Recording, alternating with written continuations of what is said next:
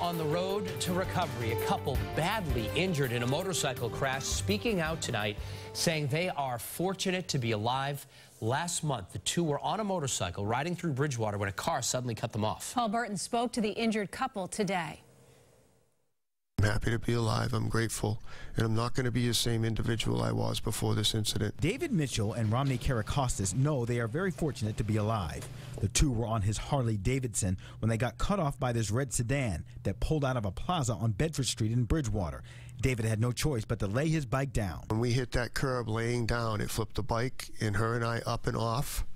I believe the bike continued to travel behind me and probably slammed me into the tree. Police say the driver of the car stops, then takes off. The message I want to say is how could she not stop and leave us there to die? Both sustained severe head and bodily injuries. David was in a coma for three days. He broke his neck and fractured his hip and skull. He saved me. How he handled that bike. And I hope he knows that. I wouldn't be here if it wasn't for him. Police were able to catch the driver who will be summoned to court. David has a message for her. Please stop and look. Look carefully. We're looking for you, but we need you to look for us twice. Check twice. Their attorney says it's critical for bikers to get personal injury protection to help cover medical costs, something David does not have, which is why they have set up a GoFundMe page. And it's a big gap.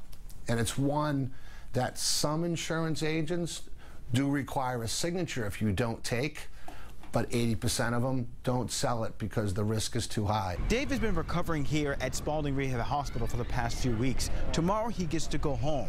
He's thankful he's alive, but he knows he has a long road ahead of him. I thank God for Spaulding Rehab and Brigham and Women's for saving my life. I just want to thank everybody for their love and support and for caring about us. Protect yourself and be careful.